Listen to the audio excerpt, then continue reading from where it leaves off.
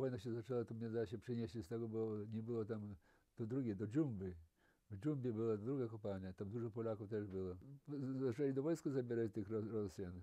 To od nas tak samo, dwóch czy trzech tam poszło, to ja już sam jeden, jednym zostałem tutaj.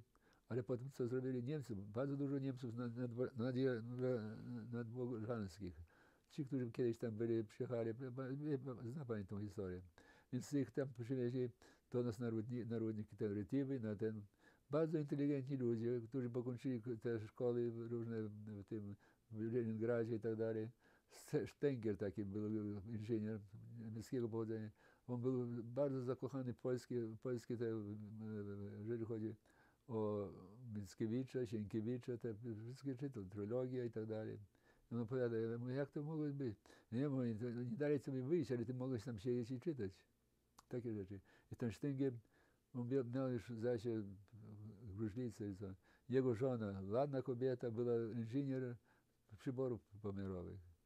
Ona to, to, to jej dali pracę w, szpitalu, w szpitalu przy rentgenach. Bo tam nie, kto nie, a on, a on dużo mnie pomagał, znaczy pomagał nam wszystkim. On, ale to już zdrowie miał. Bo, to mnie wtedy przynieśli do tej dżumy, bo tam nikogo nie było. I tam już inna, e, inna kopalnia, tam kopalnia już idzie w studnia. Studnia, wie pani? I to idzie jakieś tak samo, pół kilometra w dół. O boj, o boj. Te liny tak się często... Ale chcieli podwyższyć tą e, produkcję złota.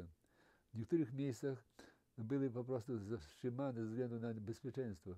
Były tak układ tych e, skał, w ten sposób, że jak zaczną drylować, to można ta skala usunąć. Nie, czort nie powierot, mówię, dawaj, dawaj, dawaj, my, my, my. I ten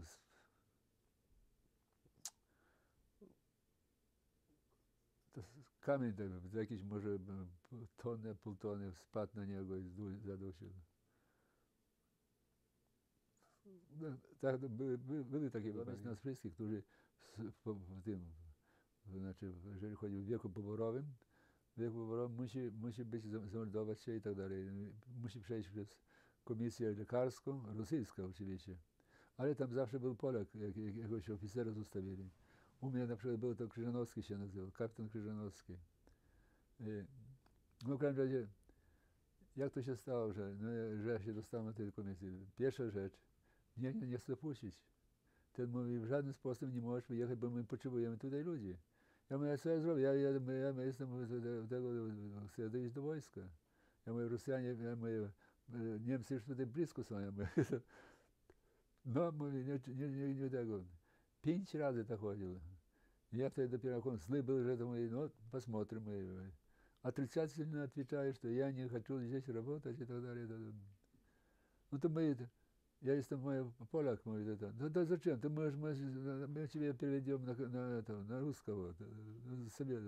Я говорю, слушай, ты бишь вежал таким, который змени, змени, ну, свое, что такое, pochodzenie i tak dalej, dlatego tylko, żeby, no, to, to on będzie sabaka, ja mówię, jego nikt nie będzie lubił.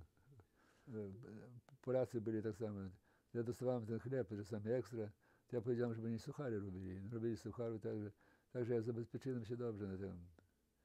No i nareszcie jak puścili, to dojechaliśmy do samego. Ja teraz stamtąd, z tej Rytiwy, gdzie moja matka była z bratem moim, ona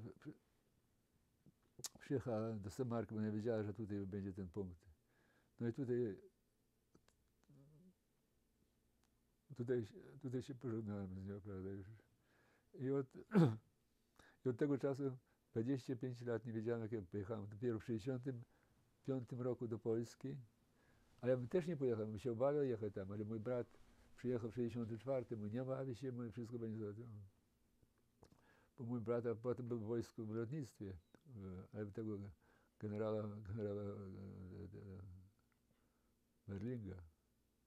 On był on latał w i tak dalej. No i teraz no, pożegnaliśmy się stamtąd.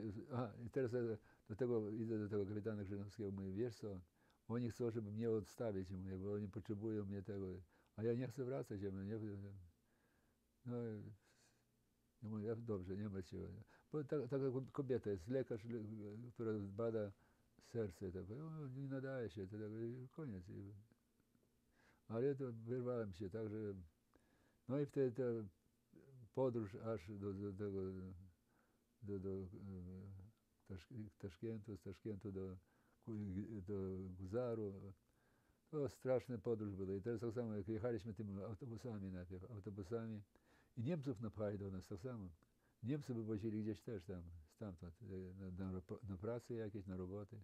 To było Niemców jakieś 15, nas 15 tym, na, tym, na tej ciężarówce.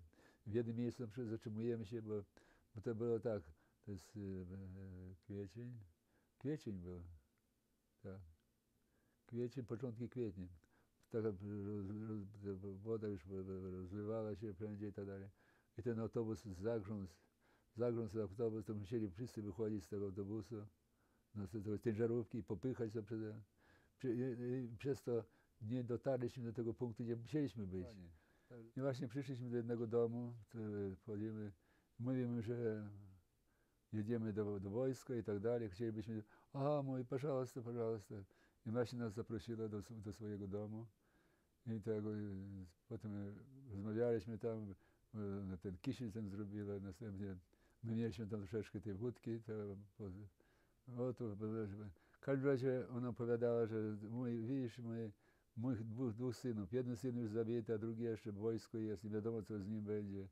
Więc my, my, my prześpimy się tutaj, na, no, no, wy na końcu będziecie spać, no, no, no, no, na moim łóżku. No. My mówimy, nie, absolutnie nie, to siłą musieliśmy przezwyciężyć, żeby zostać na tym, na, przespać się na, na, na sienniku, tak i ona na podłodze. Nie? Ona, I ona taka bardzo uczuciowa była. Życzyła nam wszystkiego najlepszego, mój Bóg z wami. No i na tym koniec będę. My teraz no, z rana wstaliśmy, ja nie wiem co my tam jedliśmy, czy nie, coś takiego tam. Prawdopodobnie, że tak, jedliśmy coś jakiegoś suchara. I na tę ciężarówkę i dalej.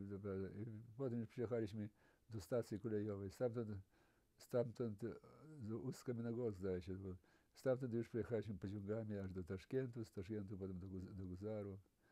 Do Guzar to był punkt zbiorny, zbiorny w ogóle, jeżeli chodzi o wojsko nasze, ale to był tak zwany punkt kwarantanny, kwarantannowy. Kwarantę, kwarantannę mieliśmy 14 dni.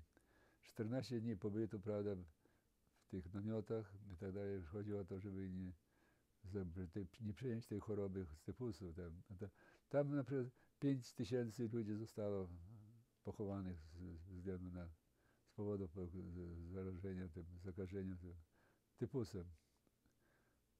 Więc w Guzarze byłem 14, 14, 15 dni byłem tam.